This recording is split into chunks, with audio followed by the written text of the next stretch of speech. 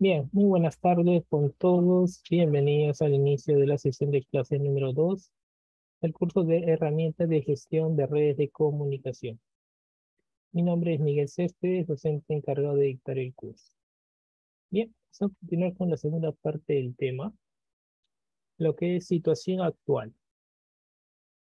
En la, en la actualidad, las redes domésticas, tanto a nivel empresarial como en la mayoría de los hogares, se ha convertido en un combinado heterogéneo de dispositivos interconectados entre sí, que distingue entre multitud de opciones.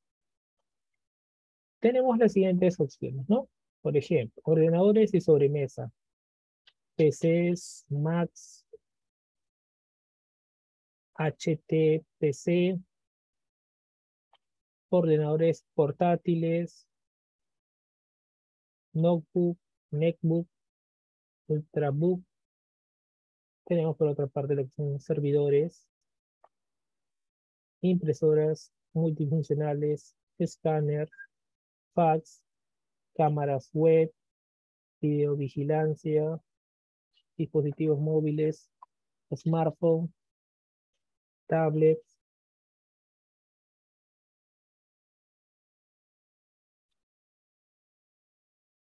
equipos multimedia, reproductores, grabadores, televisores, proyectores, dispositivos domésticos, domótica, de domótica. Bien, a ver, por acá tenemos una imagen, ¿no? Lo que es Smart Amplis, Laptop, Network Writer, Internet TV, Tablet TV, Game Console, Network Camera, ¿no? Diferentes dispositivos que podemos nosotros interactuar en el día a día gestionando Internet. Bien, vamos al siguiente punto. Por aquí. Eh, la lista de apartados con posibilidad de conexión a la red puede ser interminable, conectado con cada una de las variantes de cada familia de dispositivos y sus distintos modos de conexión.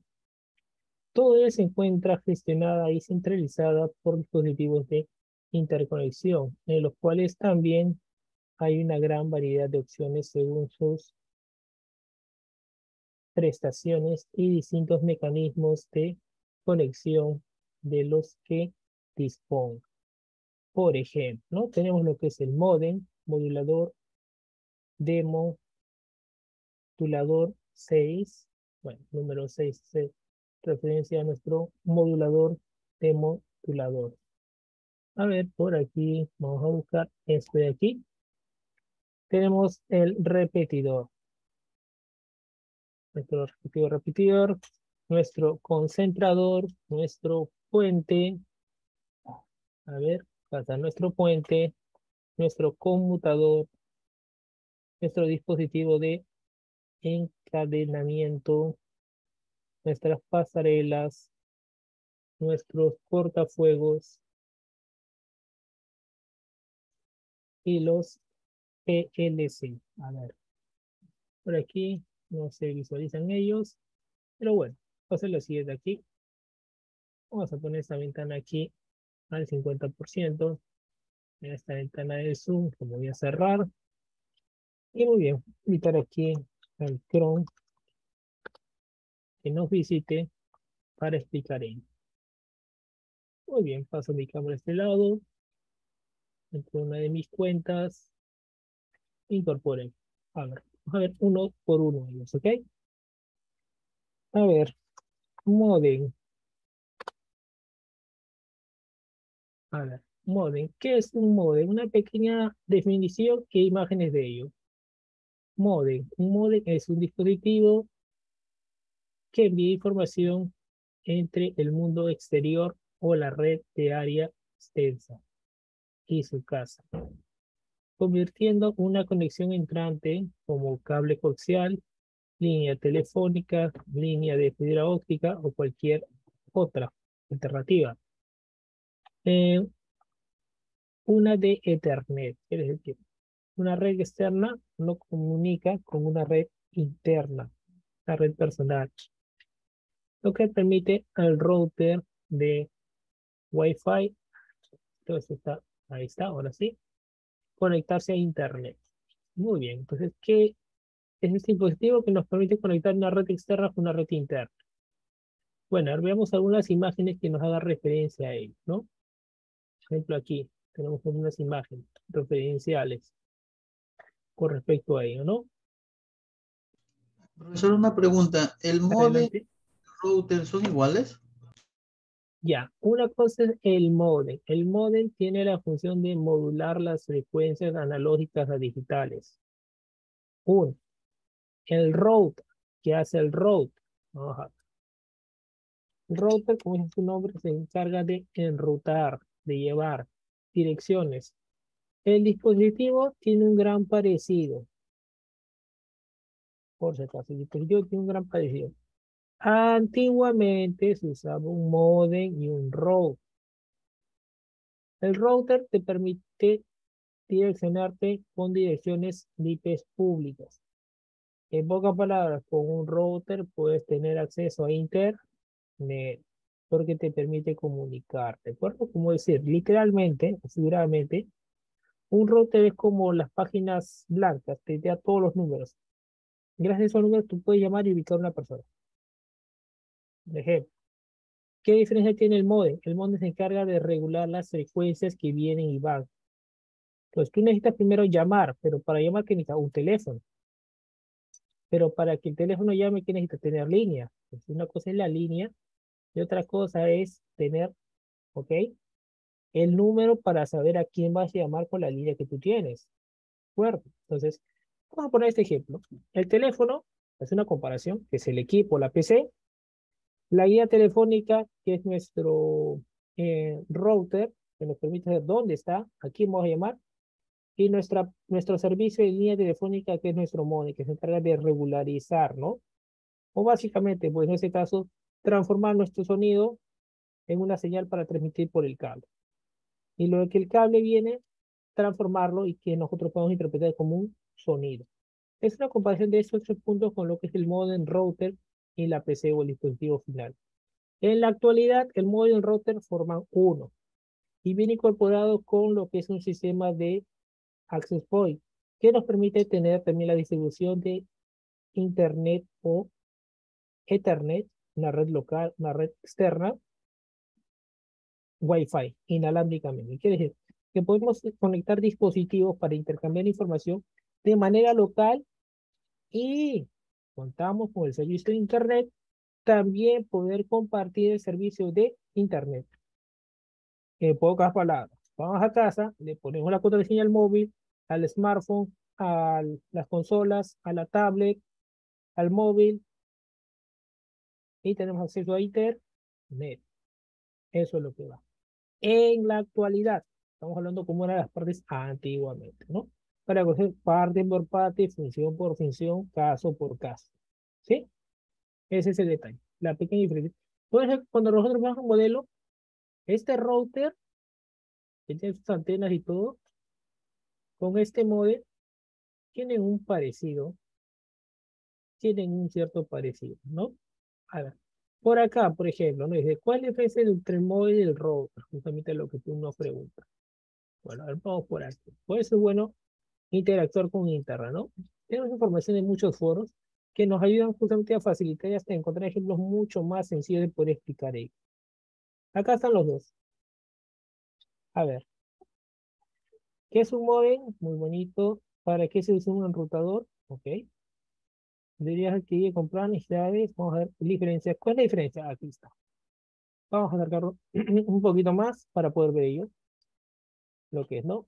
Necesito comprar acá. ¿Cuál es la diferencia entre estos dos dispositivos? A ver. La forma más sencilla de saber cómo describir un modem frente a un enrutador es la siguiente. Un modem lleva internet a tu casa, como te decía. El enrutador toma ese internet y lo divide para que pueda ser compartido por todos los dispositivos de la red. Es la descripción que le da aquí, valga la creación. Que también hace esto, sí, pero también falta definir que el enrutador es aquel que te permite conectarte de punto a punto cuando tú navegas en Internet. ¿De acuerdo? Por ejemplo, yo les doy un enlace para que te conectes con el enlace, con el enlace a Zoom y podamos estar en esa clase virtual, tenga un enrutador que nos permite direccionarnos y llegar a ellos. Y pero para ello necesitamos algo más, necesitamos internet. ¿De acuerdo? Por ejemplo, yo les comparto el link del material de la clase de hoy. ¿Ustedes qué usan? Un modem para tener internet y un router para poder conectarte desde tu computadora hasta el enlace y poder descargar la información de igual manera, ¿no? Eso es lo que hace. Bueno, acá tenemos dos maneras mucho más, como se más sencillo de decir es parte de su función también, ¿no? Lo que tiene ahí. A ver, a ver, vamos a ver esto que dice. La próxima vez que alguien te pregunte cuál es la diferencia entre un modem y un router, sabrás exactamente qué decir. Si ambos trabajan juntos para realizar una sola función, sin duda alguna. Su papel en la red inalámbrica es distinto. La mayoría de los hogares y oficinas no tienen la seguridad o la conectividad que necesitan sin ambos, como le decía. A ver, es esencial conocer las diferencias porque tu proveedor y el técnico de la reparación de la PC puede pedirte que realices ciertas pruebas a cada uno, cuando se tenía uno por uno, valga la creación, o ambos en el caso de un problema. El equipo eh, de servicio al cliente a menudo le pedirá a los usuarios que reinicien su modem o desconecten su enrutador. A veces, ¿cuál es cuál? Puede, eh, puedes cooperar con el equipo de ayuda para que tu conectividad vuelva a funcionar. Bueno, básicamente esto es una pequeña descripción de ello, pequeño ejemplo de lo que tenemos frente a uno con el otro, ¿no? A ver, por aquí, parece que tengo otro foro. A ver, vamos a ver por acá. De acuerdo. Vamos aquí. ¿Qué nos dicen? A ver, vamos a ver. Bueno, acá hablamos de tecnologías ya.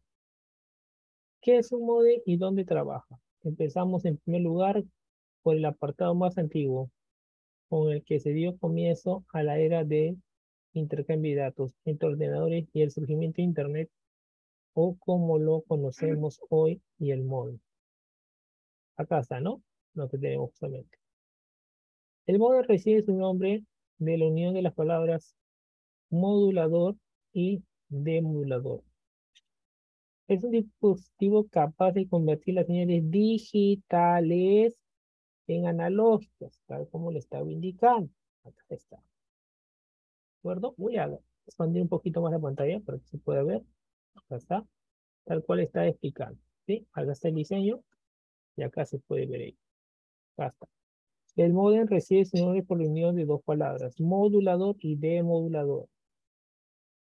Es un dispositivo capaz de convertir señales digitales en analógicas. Proceso llamado modulación. Por eso es el modulador de señal. Modula la señal.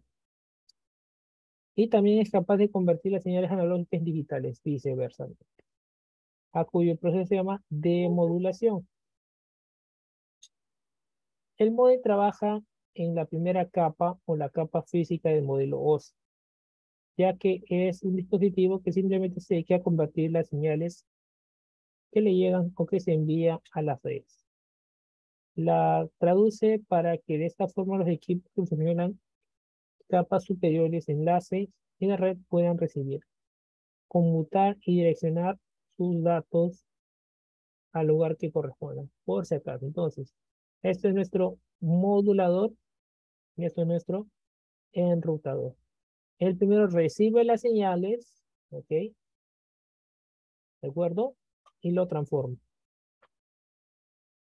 A ver, si bien es cierto, en la actualidad también existen modems de varios tipos. Su expansión tuvo lugar en la era del Internet analógico, cuando la red de redes funcionaba a través de instalaciones telefónicas.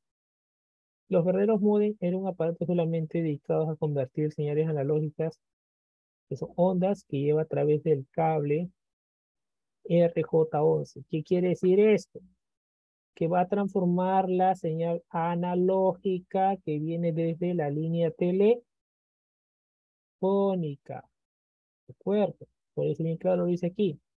Convierte la señal analógica, que son ondas que llegan a través del cable RJ11, que se conecta en el cable RJ11, las líneas telefónicas. ¿De acuerdo? A nuestra casa en una señal digital. Ya digital, código binario que pudiese entender nuestro ordenador. ¿De acuerdo? eso es lo que sucede. Transforma la señal de la línea telefónica en lo que es señales binario. Lenguaje binario, señal binario, ceros y unos, señal digital, el binario no, señal digital, que lo interpreta nuestro ordenador. es lo que hacía? ¿Cuál es su labor del modem? Hacer que de la línea telefónica la señal se pueda transformar y que recién nuestro ordenador puede interpretar la información que da. Y cuando nuestro ordenador tenía que mandar una información hacia afuera, que hacía justamente lo contrario, ¿no? Convertir nuestra señal digital en una señal analógica. Justamente vemos esto aquí, ¿no? ¿Qué nos dice aquí? A ver, la capa física. A ver. También es capaz de convertir señales analógicas a digitales. Esta es la entrada, cuyo se llama demodulación. Y convertir señales digitales analógicas. Esta es la salida. La salida, la información se llama demodulación, cuando convierte justamente la información que está en lenguaje binario de ceros y uno a el lenguaje de analógico. Ese llama modulación. Y lo contrario, ¿no? Cuando va a convertir las señales analógicas a digitales, quiere decir cuando la información llega desde la línea telefónica y lo va a transformar para que nuestro ordenador lo interprete, se denomina demodulación. Muy bien. El contenido del mensaje enviado a la red se emite a través de una señal portadora modificada. En algunos aspectos, frecuencias o bases por la señal moduladora para que sea única frente a otras señales que existen en el medio.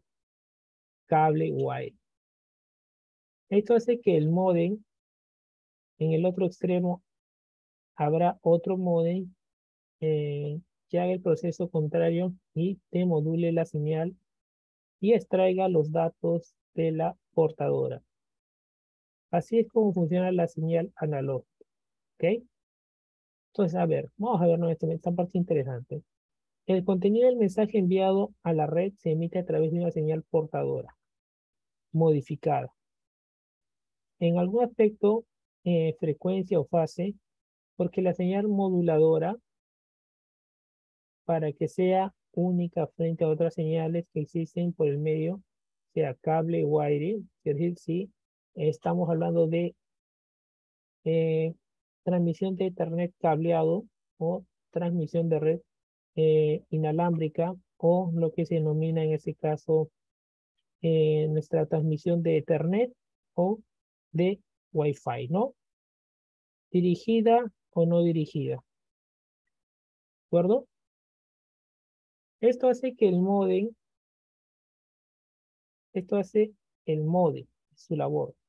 En otro extremo habrá otro modem que haga el proceso contrario y demodule la señal y extraiga los datos de la portadora y así funciona. ¿De acuerdo? Es por eso la importancia de ella. Para el modem 4G, modem para fibra.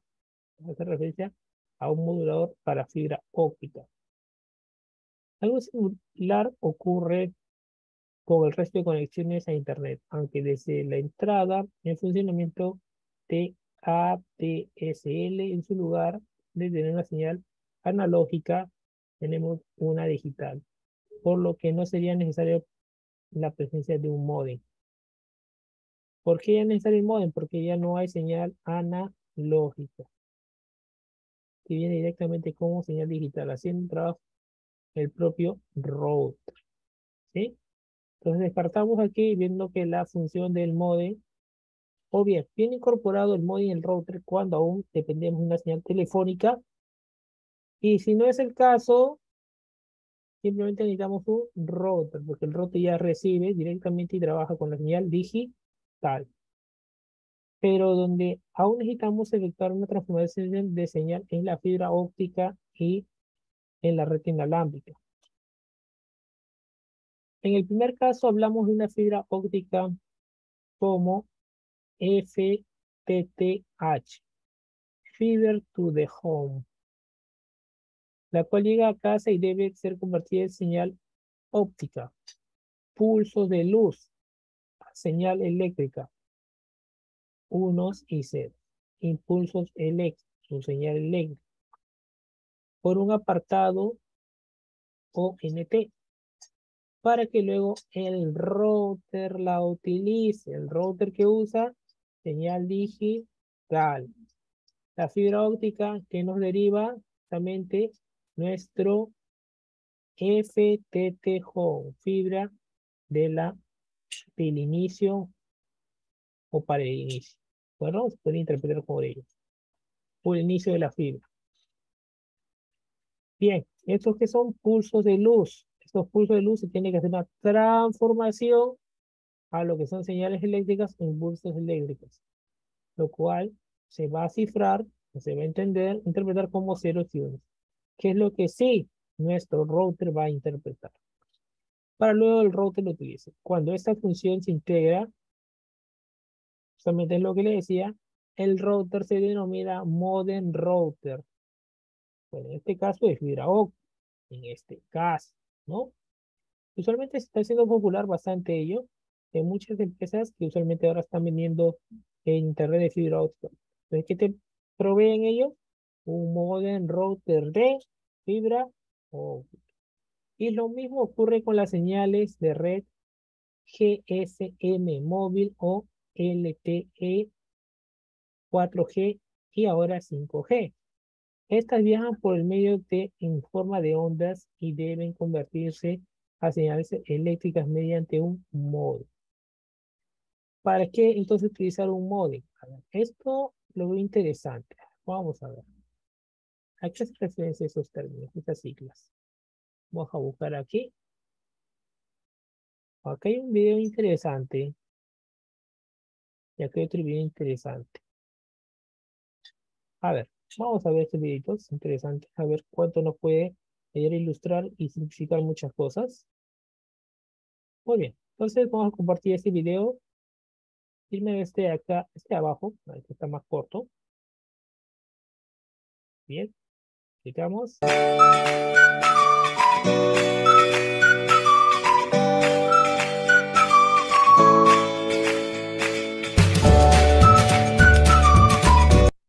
Bueno, en este vídeo os quiero enseñar a hacer una cosa porque he notado en los últimos aproximadamente 20 días, un poquito más, que se han incrementado las visitas en mis vídeos relacionados con, bueno, en mi vídeo relacionado como cambiar eh, la red 4G, 3G, 2G, para así tener mayor o menor cobertura, depende del sitio donde estemos, para que se ajuste más, porque no es lo mismo estar en una ciudad y poder alcanzar eh, una red que estar en un pueblo, en una pedanía o en un lugar eh, con casi nada de cobertura.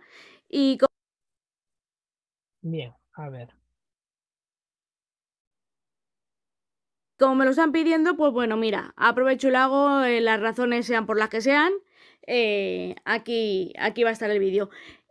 como el otro era un smartphone algo más antiguo, tampoco mucho, yo creo que se entiende bien, pero para quien lo quiera ahora, eh, y para cuando esté el 5G, que queda mucho, es muy sencillo. Deslizamos, vamos a ajustes. En ajustes tenemos lo primero conexiones, entramos, deslizamos y vemos redes móviles.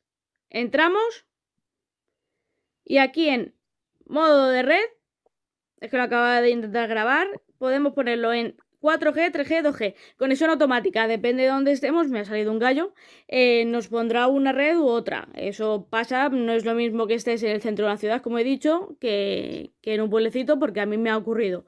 Luego 3G, 2G, eh, simplemente, nunca 4G. Luego solo 3G o solo 2G. y bueno, pues yo voy a dejar la mía que es la que quiero y, así sería, pero eso son las formas de cambiarlas y da igual eh, con qué compañía estés, eh, donde lo tengas, si lo tienes activado así desde el celular, eh, solo va a tomar esas redes. Y bueno, espero que os haya servido el vídeo, la que ha sido así, favorito os ha gustado mucho, compartidlo con vuestras amigas y enemigas, amigos y enemigos en las distintas redes sociales y que Bien. A ver. Breve, directo al punto, pero tuvo mucha definición a lo que queremos. Punto para comenzar. ¿Cómo es Va a ser el año del 5G, ya llevamos un tiempo escuchando hablar de él por parte de operadores y fabricantes, pero no será hasta este 2019 cuando de verdad vamos a comprobar qué va a suponer esta tecnología en nuestro día a día. Lo va a cambiar todo, pero será para tanto. ¿Qué diferencias hay con respecto al 3G y el 4G? Pues es lo que voy a tratar de explicaros justo tras la intro.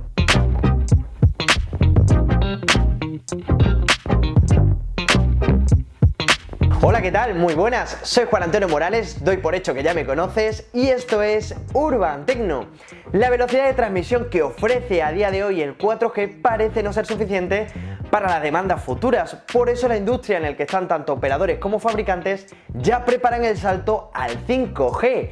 Lo malo es que muchos usuarios y usuarias aún no llegan ni a disfrutar el 4G en muchos de sus pueblos y ciudades, y sé de lo que hablo. Parece mentira lo que han evolucionado las redes móviles durante estos últimos años, hasta hace prácticamente dos días no nos imaginábamos navegar por internet con nuestro dispositivo móvil hasta la aparición del 3G. Fue precisamente esta tercera generación de comunicaciones la que revolucionó el mercado de la tecnología móvil con los actuales smartphones, unos dispositivos que nos han facilitado tanto por hardware como por software disfrutar de dicha conexión de transferencia de datos y de voz. De la misma manera, operadoras y fabricantes han innovado tanto durante estos años que han permitido mejorar todavía más cobertura y velocidad de transmisión. No había nacido, pero fue hace nada cuando se descubrió la primera red de conexión. Fue en la década de los 80 cuando se activó el 1G, que permitía a los teléfonos de la época llamar y enviar mensajes de texto. A partir de entonces se dio paso a las distintas redes. 10 eh, años más tarde llegó el 2G, después el 3G y finalmente el 4G. Por eso a día de hoy es una gozada navegar con nuestro móvil y es gracias precisamente a ese 4G que está bien implementado en la mayor parte del territorio de nuestro país ofreciendo una buena velocidad de descarga. Aún así, las operadoras deberían continuar ampliando la cobertura del 4G en muchos territorios, porque a día de hoy hay quien tiene que conformarse con conexión 3G. A pesar de eso, fabricantes y operadoras ya trabajan en la siguiente generación conocida como 5G, tanto que ya es una realidad. Vamos a ir una por una, que es el 3G, también conocido como UMTS o HS DPA. Es el sucesor de la tecnología 2G o 2.5G y ofrecería velocidades de hasta 10 megabits. Aún así también podríamos decir que el 3G ha pasado por diferentes fases como el 3.5G, también llamado 3G Plus, que como supondrás ofrece una mayor velocidad. Si alguna vez te has preguntado cuáles son los simbolitos que te aparecen en el apartado de la cobertura de la barra superior de tu móvil, aquí tienes la respuesta. El siguiente paso ha sido el 4G o el protocolo LTE. Se trata de la evolución del 3G, que se ha convertido en el estándar de comunicación móvil de alta velocidad. Esta cuarta generación nos otorga nada más y nada menos que 150 megabits y tal como he comentado está en plena todavía en plena distribución, en pleno despliegue, pero prácticamente la mayoría ya podemos disfrutar de dicha conexión. El siguiente paso ha sido el 4G o el protocolo LTE. Se trata de la evolución del 3G que se ha convertido en el estándar de comunicación móvil de alta velocidad. Esta cuarta generación nos otorga nada más y nada menos que 150 megabits y tal como he comentado está en pleno despliegue, aún no ha finalizado, pero prácticamente la mayoría ya podemos disfrutar de dicha conexión. Si eres de Orange no deberías de tener este problema ya que llega al 99% de la población y además si te fijas no solo te muestra la cobertura por tecnología, sino también la calidad de la misma.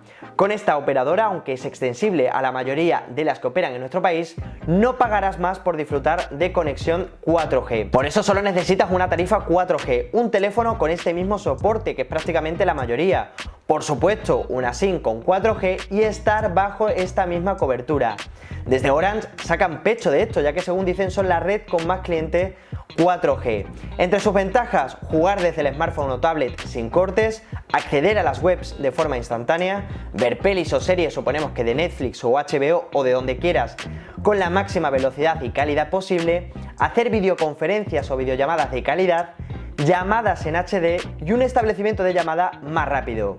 ¿En tu pueblo no tienes cobertura 4G? Pues pídesela a Orange porque también ofrece esta posibilidad para así ampliar su red móvil y ofrecer, supongo, el mejor servicio a sus clientes, vivan donde vivan, que es lo que siempre le pedimos a las operadoras. ¿Y qué es entonces el 4G Plus? Pues es algo similar a lo que pasó con el 3G. Es una ampliación de la tecnología 4G para ofrecer un servicio todavía más rápido, en este caso el doble de hasta 300 megabits y lo consigue por la posibilidad de conectar al mismo tiempo con dos redes 4G de diferente frecuencia. El 4G Plus es una de las tecnologías que engloba el llamado LTE-A o LTE avanzado, una red que sigue en expansión y que podrás disfrutar dependiendo de dónde vivas y de si tu terminal lo soporta, aunque a día de hoy la mayoría lo hacen. Y ahora sí, vamos con lo que va a ser una realidad en tan solo unos meses, el 5G, una tecnología con la que superaremos los 100 megabits por segundo. Sí, por segundo, es una pasada. Y va a ser una realidad porque fabricantes como Huawei, Samsung o Xiaomi van a lanzar en tan solo unos días sus primeros dispositivos con soporte 5G. De hecho, ya se ha anunciado que Xiaomi va a lanzar ese Mi Mix 3, su primer dispositivo con soporte 5G en el próximo Mobile World Congress 2019. La gran novedad que va a traer el 5G es que se podrán realizar transferencias de datos para miles de usuarios conectados a la vez, miles de dispositivos. Y no solo eso, además se reducirá la latencia, por lo que el sistema será mucho más estable y con menos tiempo de espera. Una tecnología que impulsará en los próximos años el Internet de las Cosas. El 2019 ya está aquí y Orange es de las primeras operadoras de nuestro país que se preparan para que todas las posibilidades que pueda ofrecernos este 5G sean una realidad. Avanzan que el despliegue masivo será en el año 2020, por lo que todo hace intuir que este año podría ser el comienzo de la revolución que supondrá el 5G en nuestras vidas. ¿Qué os ha parecido? ¿Tenéis alguna duda? Coméntamelo en los comentarios y si te ha parecido interesante este vídeo, agradecemelo dándome un buen like. Bien, ¿no? Interesante lo que estamos viendo por aquí. También nos ayuda a poder entender un poco mejor realmente lo que estamos viendo aquí, ¿no? Entonces ya queda claro, ¿no? ¿A qué se refiere esto del GSM móvil o el LTE 4G? Porque justamente este es el protocolo que conlleva, ¿no? A esta tecnología. Bueno, por aquí más cosas del router. Ah, en realidad muy interesante esto de acá. Está muy interesante todo esto del router. Lo voy a guardar por aquí. Me lo voy a guardar para compartirlo con ustedes. Para que den una leída de ello. Bien. Ya. un blog de notas. Voy pegar y voy a guardar este enlace. Ok. Clase de router. Muy bien, interesante ello. Listo, vamos a lo siguiente. ¿Quién nos queda por acá? Concentrador o hub. Listo. Acá hay una diferencia. Vamos a poner así para ganar tiempo. Diferencia entre hub y switch. Igual creo que da mejor ver acá un video con respecto a ello. Parece que este, este blog me gusta bastante. Este blog, este video. Interesante. A ver, lo comparto para que podamos ver ello. Y enriquecer la clase.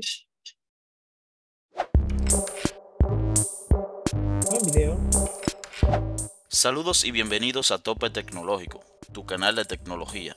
No olvides suscribirte y activar la campanita para que recibas notificaciones cuando subamos un nuevo video. En esta ocasión vamos a hablar de la diferencia entre un hub, un switch y un router o enrutador. Estos tres dispositivos son similares, pero hay una diferencia en la forma en que manejan los datos. Primero hablemos del hub. El propósito de un hub es conectar todos los dispositivos a una red interna. Tiene varios puertos que aceptan conexiones Ethernet de diferentes dispositivos de red. Es considerado como no inteligente porque no filtra los datos, es decir, que no sabe exactamente a dónde enviar dichos datos. Y eso se debe a que lo único que sabe un hub es cuando un dispositivo está conectado a uno de sus puertos. Bien, acá un buen punto para comentar. ¿Qué hace el hub? tenemos acá la PC1, 2 y 3, ¿ok? Cada PC tiene IP. Lógica. Cada PC tiene una eh, dirección IP o también conocida como dirección física o dirección MAC. ¿De acuerdo? Entonces, ¿no? Vamos a suponer que son las cantidades de estudiantes que están presentes en clase. Un eje, ¿no? Los cuatro presentes. Listo. Entonces, por ejemplo, yo quiero preguntar a uno de los que están en clase. Pero lo que haría figuradamente el hub es hacer esa pregunta al primero. No hay cómo decirla. Quiero preguntar por el alumno Gómez. Al primero le pongo, ¿tú te llamas Gómez? No. Listo. ¿Tú te llamas Gómez? Tampoco. ¿Tú te llamas Gómez? Tampoco. ¿Tú te llamas Gómez? Tampoco. A lo mejor Gómez no está presente. Es un ejemplo, ¿o no? Por ejemplo, ¿no? Tú te llamas, a ver, Suárez. Le pregunta, ¿no? ¿Usted Suárez? No. ¿Usted Suárez? No. ¿Usted Suárez? Sí. Listo, vuelve, ajá. Ahora vamos a preguntar a otro. Literalmente, ¿no? Lo que hace preguntar es un IP.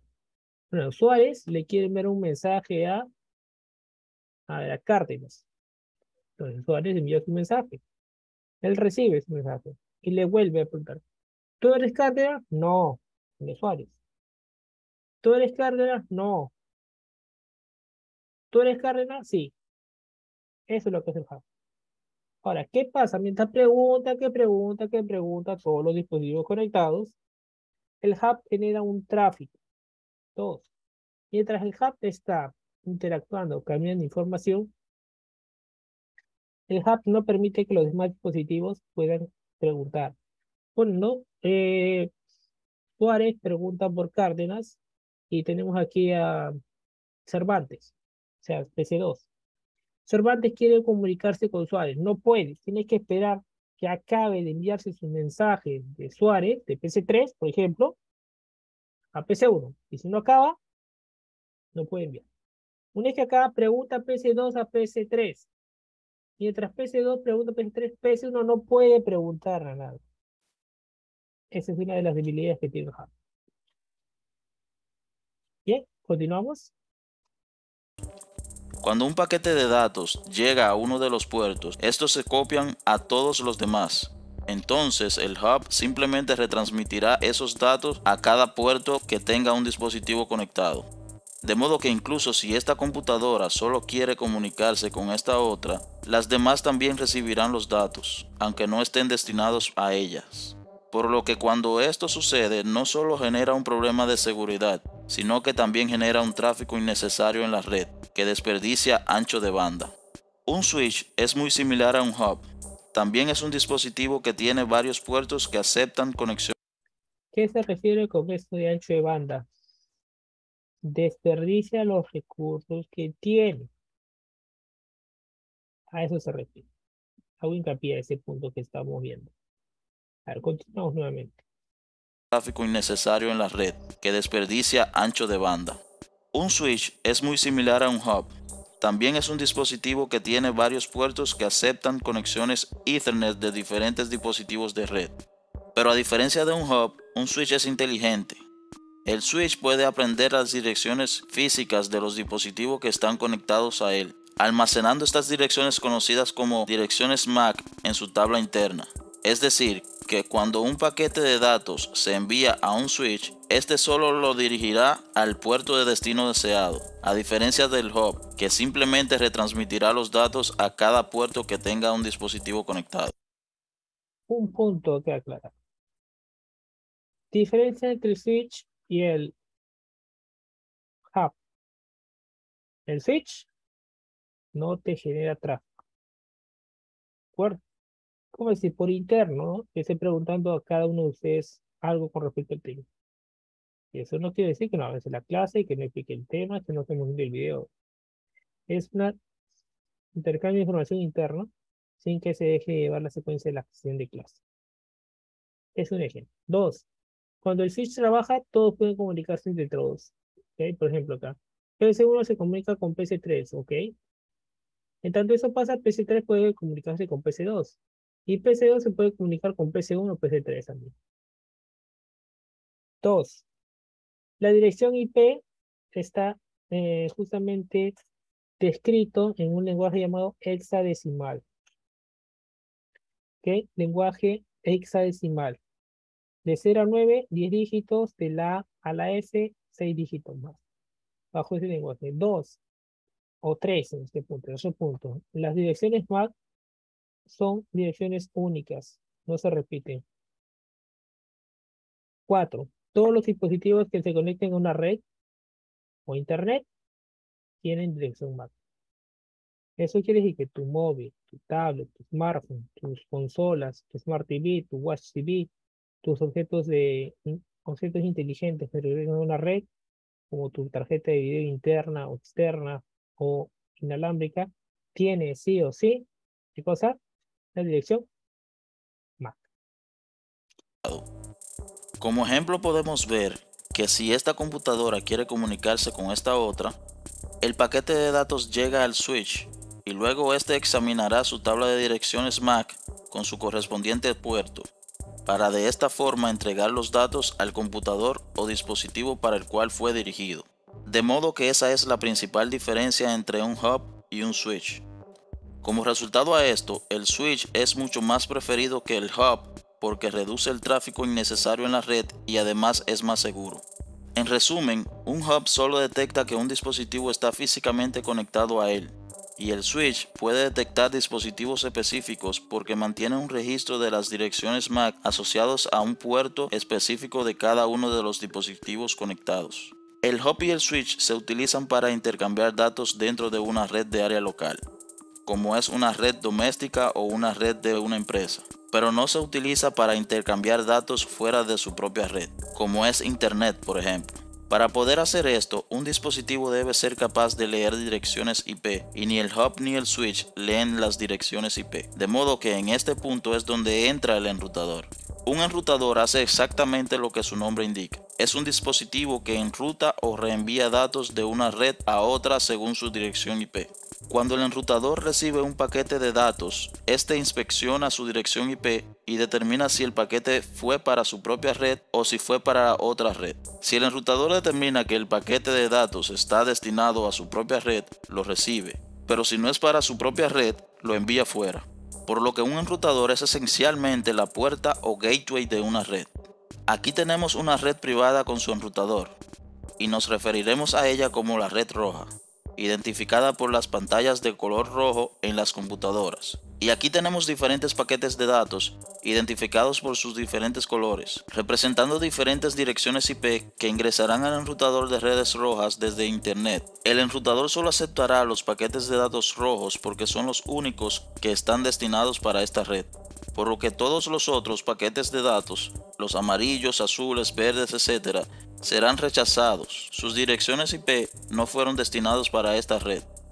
Aquí tenemos una vista ampliada de los enrutadores de Internet. Podemos ver cuatro redes identificadas por sus diferentes colores y cada red tiene su propio enrutador junto con sus hubs o switches y computadoras. Cada red simplemente está intercambiando información dentro de su propia red. Sus datos no salen a Internet, por lo que no se comunican con otras redes. Simplemente intercambian datos dentro de su propia red mediante su hub o switch. Ahora intercambiemos datos dentro de diferentes redes. Si esta computadora que pertenece a la red roja quiere comunicarse con una computadora de la red azul, el paquete de datos tiene que dejar su propia red y salir al internet, por lo que la computadora envía sus datos y va al enrutador de la red y este mira la dirección IP del paquete de datos y luego los enviará al siguiente enrutador para después dirigirse al enrutador de la red azul y desde ahí a la computadora de destino deseada. Así es como funcionan los enrutadores.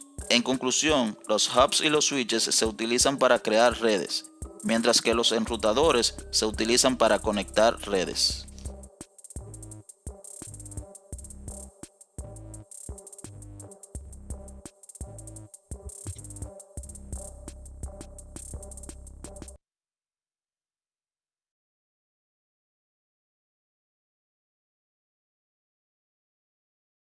Hola, este video es una introducción a la infraestructura TI o infraestructura de tecnología. Bien, ¿no? A ver. Entonces, con este pequeño video tenemos una diferencia muy puntual de ello, ¿no? Decir y cuál es el rol de cada uno de ellos. Bueno, a ver, vamos aquí. Eh, a ver algunos de los dispositivos más que tenemos aquí al alcance. ¿Quieres también adjuntar este video?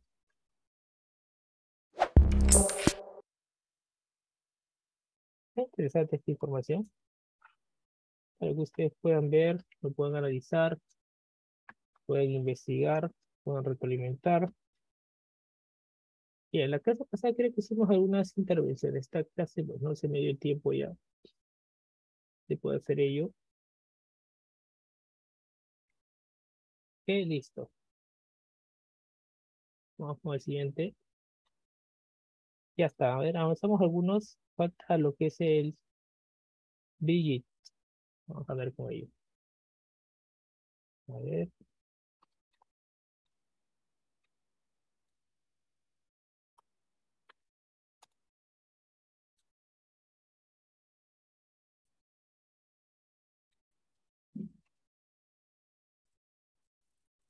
Vamos a ver.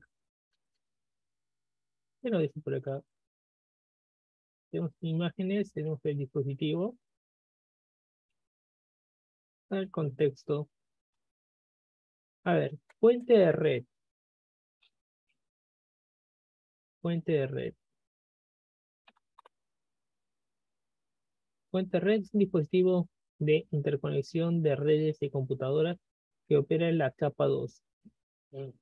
Nivel enlace de datos, modelo, a ver, está interesante esto. A ver, vamos a ver por aquí. A ver, vaya mensaje por aquí que aparece. Eh, ya. Así, deja ver. A ver qué pasó.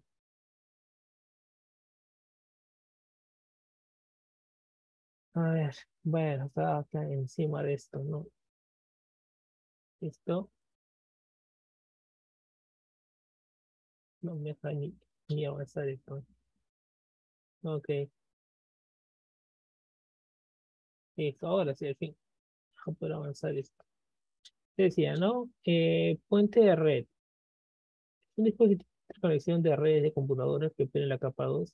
Nivel enlace de datos del modelo OSI. Interconecta segmentos de la red o divide una red en segmentos, haciendo la transferencia de datos de la red hacia otra con base de dirección de física o destino de destino de cada paquete. El término bridge eh, formalmente responde a un dispositivo que comparte de acuerdo al estándar de la IEE 802.1D.